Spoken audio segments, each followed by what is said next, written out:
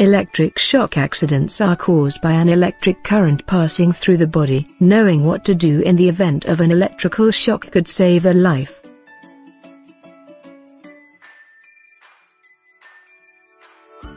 Step 1. Separate the person from current source. The first step is to separate the person from the source of electricity, as quickly as possible. The best way of doing this is to turn off the supply. Don't touch the injured person if he or she is still in contact with the electrical current. If you can't shut off the source with dry feet and hands, use a board, wooden stick, to get the person away from the source. Step 2. Call for emergency medical help. After removing the person from the source of electricity, if the person is unconscious, call for an ambulance immediately.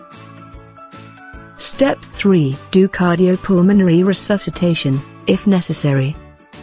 Check for signs of circulation, such as breathing, coughing or movement. If absent, begin rescue breathing or CPR immediately. Step 4. Care for injuries. If the person is bleeding, apply a bandage. Cover any burned areas with a sterile gauze bandage or a clean cloth. Step 5. Wait for the emergency services.